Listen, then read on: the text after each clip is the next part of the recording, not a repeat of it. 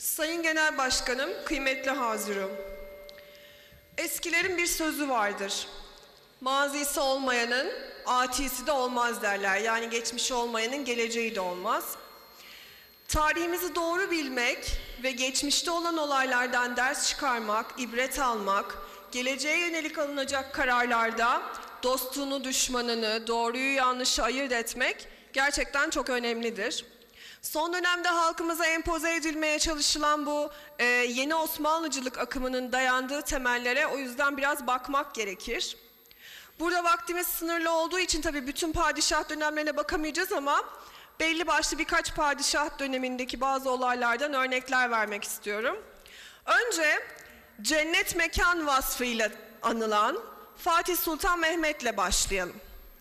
Ünlü kanunnamesiyle biliyorsunuz kardeş katlini meşru kılan padişahtır kendisi.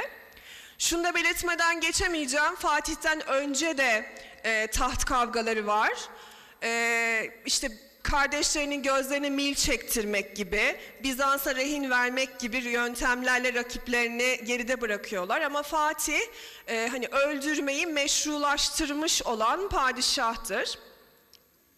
Ve bugün bu yeni Osmanlıcı e, bakış açısındaki arkadaşlar şunu ifade ediyorlar. Diyorlar ki bunlar öyle büyük insanlardı ki e, öyle büyük e, bir vatan sevgisi, millet sevgisi vardı ki içlerinde kardeşlerinden, öz evlatlarından bile vazgeçebiliyorlardı. Biz bugün hangimiz bunu yapabiliriz, böyle bir fedakarlığın altına girebiliriz diye de e, bizleri eleştiriyorlar.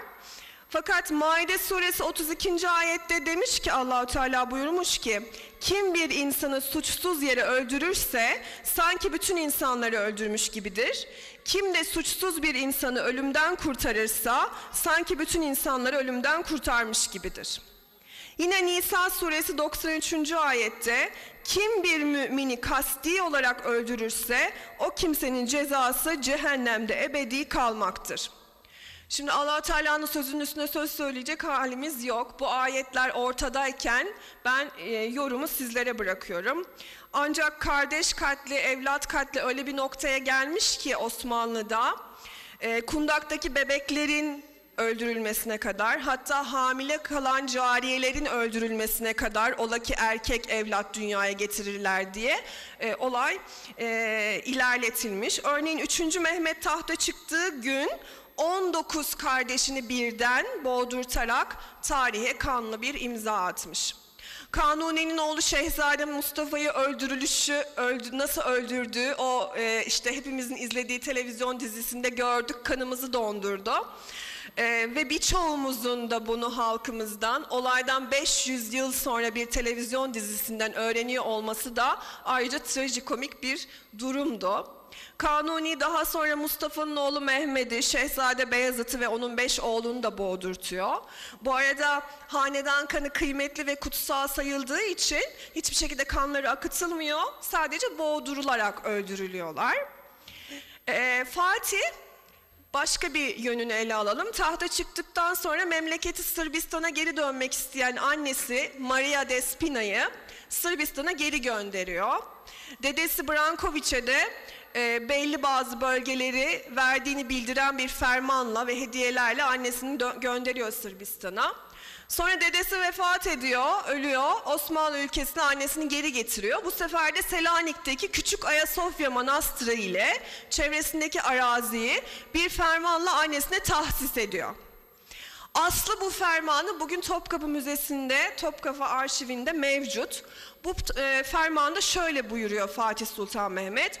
Bu devrin Hristiyan kadınlarının en yücelerinden olan anam Despina Hatun, Selanik'te Küçük Ayasofya adıyla bilinen manastırı şeriat kurallarına göre satın almış, gerekli belgesi de varmış. Ben de uygun bulup bu fermanı verdim ki manastıra sahip olsun, dilerse satsın, dilerse bağışlasın, kimse engel olmasın, içindekilerden vergi alınmasın.''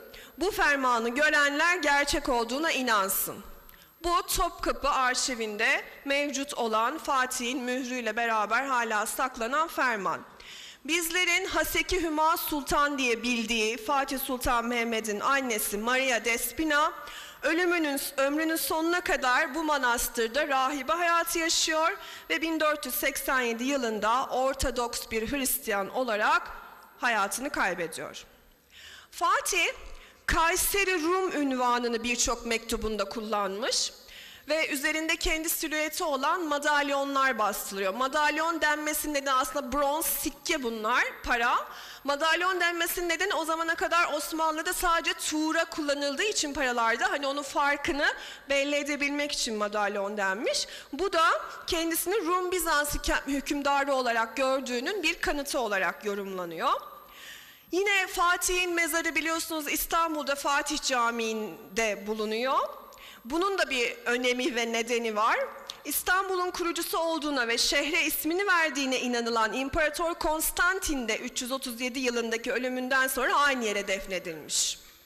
İstanbul'a inşa edilmiş olan ilk Hristiyan mabedi Havariler Kilisesi bugün Fatih Camii'nin olduğu yerde bulunuyordu ve Fatih orayı fethettiğinde harap durumdaydı kendi ismini taşıyacak olan caminin oraya yapılmasını emrediliyor ve öldüğünde de bedeninin oraya gömülmesini vasiyet ediyor.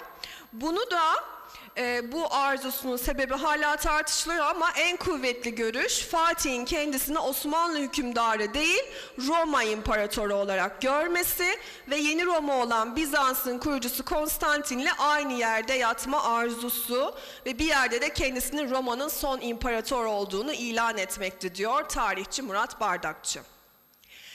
Gelelim yeni Osmanlıcıların e, yine çok sevdiği padişahlardan biri olan Yavuz'a. Yavuz Sultan Selim'e. Babası Beyazıt döneminde 20 yıl Trabzon'da valilik yapıyor ve bu dönemde e, Doğu'ya e, bayağı bir e, ciddi hak, ciddi bilgi sahibi oluyor Doğu hakkında ve İslam ülkelerinin başına geçmeyi kafasına koyuyor. Tahta geçer geçmez de biliyorsunuz yüzünü Doğu'ya çeviriyor. Savaşacağı kişilerin de Müslüman olmasından dolayı tepki almamak için o dönem Şeyhülislam'ı olan Müftü Nurettin el Hamza'ya 1512'de Kızılbaşlarla ilgili bir fetva verdirtiyor. Bu fetvada Kızılbaşlar kafir ve dinsiz olarak tanımlanmış, onları öldürmenin vacip ve farz olduğu, öldürenlerin gazi, bu yolda ölenlerin şehit olacakları söyleniyor. Ayrıca bu topluluğun durumu diyor kafirlerin halinden daha kötüdür. Bu topluluğun kestiği ve avladığı hayvanlar murdardır. İslam'ın sultanının onlara ait kasabalardaki bütün insanları öldürüp mallarını, miraslarını, evlatlarını alma hakkı vardır deniliyor.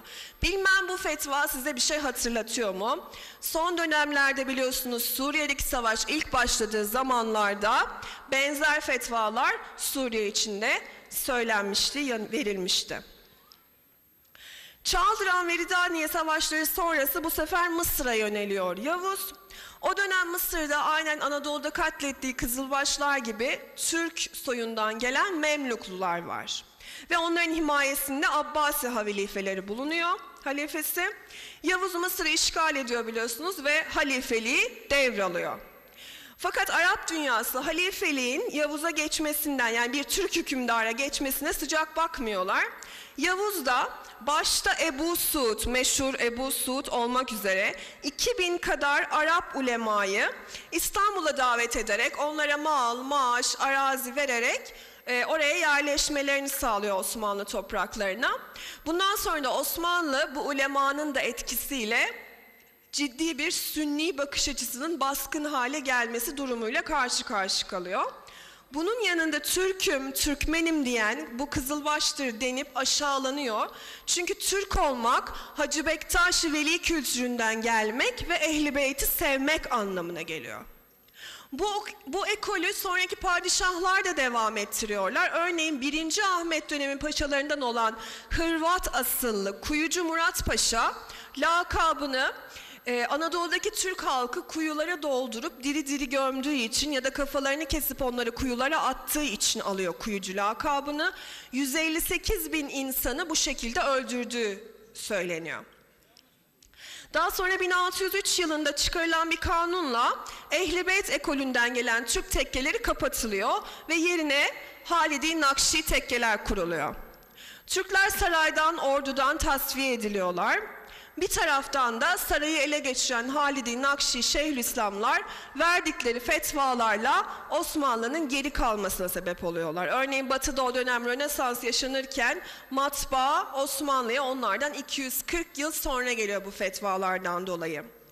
1826'da 2. Mahmud'un girişimiyle Yeniçeri ordusunun dağıtılması ve Vakaya Hayriye denilen olayın ardından başlayan iman yoklamalarıyla beraber artık tekkeler ve dergahlar tamamen Nakşileşmiş.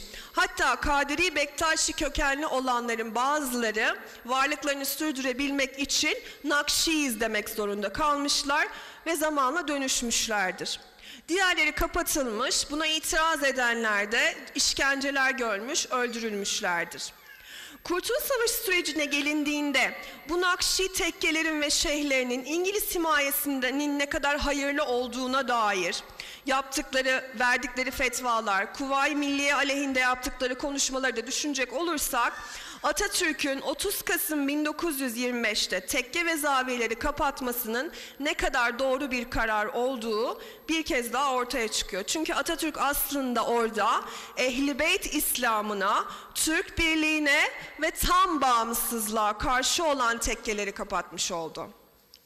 Yine 29 Ekim 1933'te 10. yıl nutkunda ne mutlu Türk'üm diyene derken de aslında Anadolu'daki Türk halka ta Yavuz zamanından beri maruz kaldıkları muameleyle kaybettikleri itibarı iade ediyordu.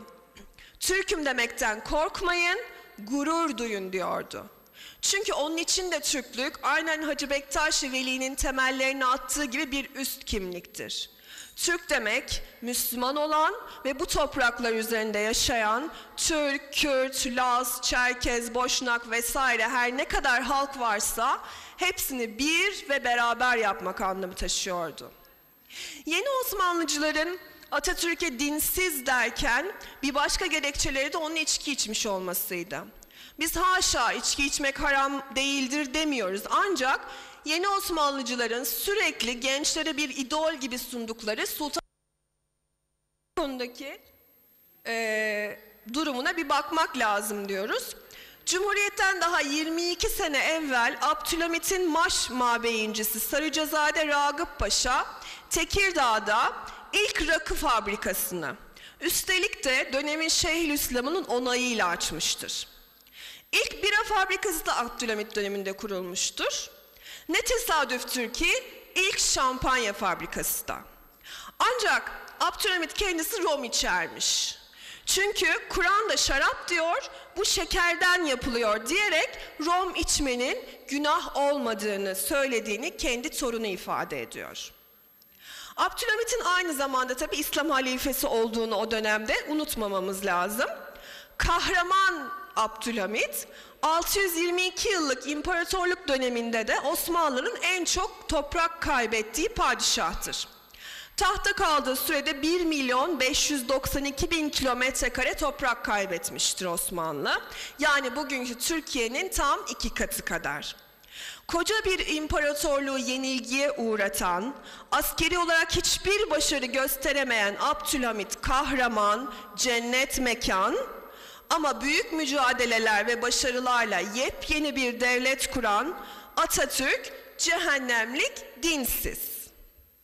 Bu reva mıdır? Soruyorum sizlere. Gelelim son halife, dedemiz diye ifade edilen Abdülmecit'e. Kendisi ressamdı. Paris'te sergi bile açmıştı. Nü resimler çiziyordu. Çıplak model kullanıyordu. Hatta haremdeki kadınları sarayın bahçesindeki havuzun etrafında resmettiği Avluda Kadınlar isimli tablosu 2013 yılında açık arttırmayla 1 milyon 600 bin liraya satıldı. Bizim sanata ve sanatçıya saygımız sonsuz. İsteyen istediği resmi tabii ki çizebilir. Ancak İslam halifesi e, sıfatı taşıyan bir kişinin nü resimler yapmasının yorumunu yine sizlere bırakıyorum. Şimdi bu halife örneklerini göz önünde bulundurduğumuzda 3 Mart 1922'de Atatürk'ün hilafeti kaldırmasının da ne kadar isabetli bir karar olduğu zannederim ki açıktır. Ayrıca Osmanlı Osmanlı diyenler, saraydaki ihtişama vurulanlar acaba biliyorlar mı 1923'te Osmanlı'dan Türkiye Cumhuriyeti'ne kalan miras neydi? Erkeklerin sadece yüzde yedisi, kadınların sadece binde dördü okuma yazma biliyordu. Okul yaşı gelen her dört çocuktan üçü okula gitmiyordu. Toplam 4894 ilkokul, sadece 72 ortaokul, 23 lise vardı bütün Osmanlı'da. Bir tane sadece üniversite vardı, o da Darülfünun ve bilimsellikten çok uzaktı. Tüm liselerde sadece 230 kız öğrenci kayıtlıydı. Öğretmenlerin üçte birinin öğretmenlik eğitimi yoktu. Hani harf, de, harf devrimi yapıldı ve bir gecede cahilleştirdi Atatürk halkı deniyor ya. Hatta atalarımızın mezar taşlarını okuyabilelim diye liselere müfredatına Osmanlıca ders olarak konuldu. Bu rakamlardan görüyoruz ki aslında harf devriminden önce de insanlar öyle sular seller gibi Osmanlıca yazıp okuyamıyorlardı. Ee, ülke nüfusu 13 milyon civarıydı. 11 milyon kişi köyde yaşıyordu. 40 bin köy vardı, 38 bininde okul yoktu. Traktör sayısı sıfırdı, kara saban vardı. Doğan her iki bebekten biri ölüyordu. Memlekette sadece 337 doktor vardı, 60 eczacı ve bunların sadece 8 tanesi Türktü. Diş hekimi sıfırdı, ortalama insan ömrü 40 yıldı. Yani sizin anlayacağınız Osmanlı'da halkın yaşadığı hayat hiç de öyle parlak değildi. Hani filmlerde izleyip hayran olduğumuz Osmanlı'yla e, o ihtişamlı hayatla ha- halkın hiçbir alakası yoktu. Halk ağır vergiler altında eziliyordu. Ticareti genelde gayrimüslimler yapıyordu ve onlar zengindi.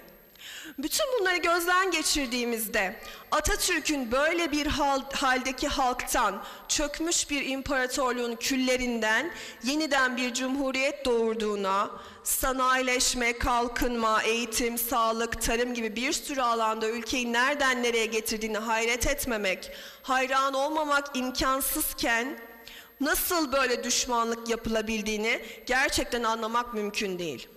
Hafızı kelam olan, camide saatlerce cuma hutbesi verebilecek kadar İslami bilgiye sahip olan bir insana dinsiz damgası vurmak, ona cehennemlik demek bu vatana ihanetten başka bir şey değildir.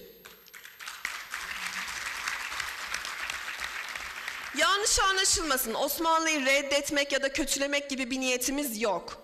Osmanlı'nın mimaride, sanatta, askeri alanda müthiş eserleri var ve biz hepsiyle de gurur duyuyoruz. Evet biz onların torunuyuz.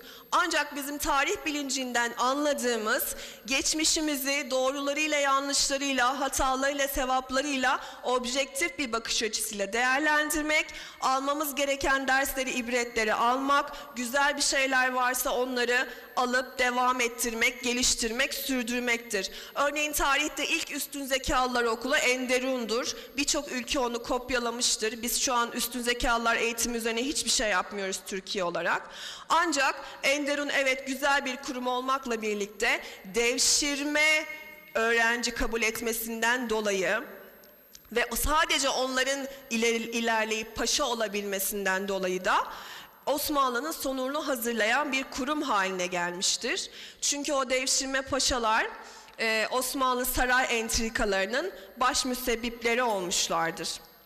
Dolayısıyla e, Osmanlı'yı çöküşe sürükleyen tehlikelerin biz de onların devamı olan bir ülke olarak ve aynı topraklarda hüküm süren bir ülke olarak Osmanlı'nın çöküşünü hazırlayan sebepleri iyi değerlendirmemiz ve bundan ders almamız çok önemli.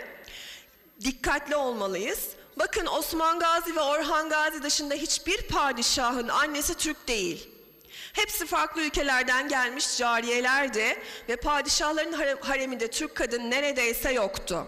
Bu da Osmanlı'nın sonunu hazırlayan faktörlerin başında geliyordu. Çünkü Müslüman Türk'ün örf, adet ve değerlerini bilmeyen bir anne ve devşirme lalalarla büyüyen padişahların İslami ölçülerle yetişmesini ve öyle davranmasını beklemek aslında onlara haksızlıktır.